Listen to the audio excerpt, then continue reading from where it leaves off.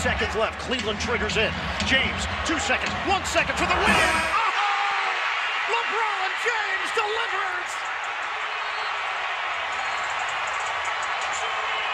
That's a winner in Cleveland.